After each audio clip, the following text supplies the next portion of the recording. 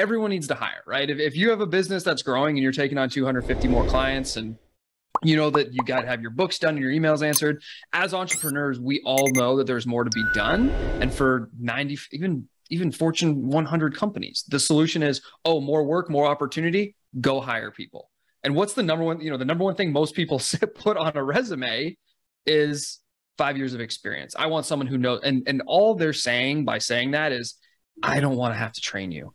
I because I don't have the capacity, I don't have the time. But that's what causes a lot of employers, whether you're a small guy or huge Fortune 100 company, to waste all this time and resource. I mean, to hire someone costs over six figures, right? When you talk about time and downtime and resources from other team members to get them up to speed.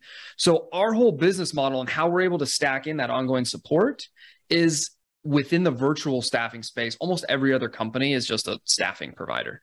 What do you need? Here, we'll find someone who has a resume that says they do that you figure it out. But what we and really Rob figured out because this was how he was running a business that was just constantly putting fires out, coming into the office every day, just dreading opening up his own email was like he realized I'm the issue here. Like I don't know what I need or how I would train somebody or what exactly their job function would be. So we kind of flipped the whole paradigm on its head to say, if you're hiring, you need to look at your processes and how you operate and the role of each hire before you ever bring another human into that conversation to say, okay, now you do this.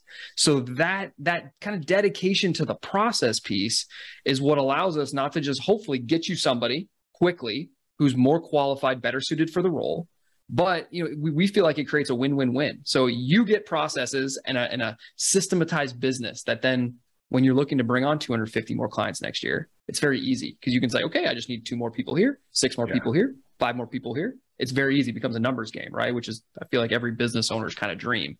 It's a win for the person you're hiring because they come in and they're not worrying about you know former NFL player Charles who's got his phone ringing 45 times a day and 100 with former games. cheerleaders calling me all the time you know I, yeah you're right you're right but they're not worrying on like how much of their time am I going to get how much teaching am I going to get like they come in and they've got a playbook that they can jump right into and it says here's what I need you to do how I need you to do it and here's all the technology you're doing it in now go so it empowers them to be successful because I've, I've never hired someone where on day one they wanted to be a crappy employee, right? Usually we turn people into crappy employees. So it gives them empowerment in their role.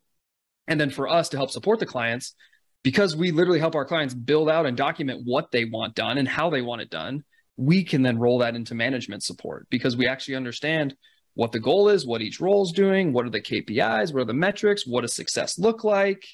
you know, when Charles says this, what does that actually mean? Like we're able to kind of play that middleman. So it's just more efficient across the board. And so that hopefully, and hopefully you feel this as a partner, we're like, we have like an active, you know, stake in not just the success of your team, but the success of the business by helping you kind of become more process oriented and therefore hire, you know, better people.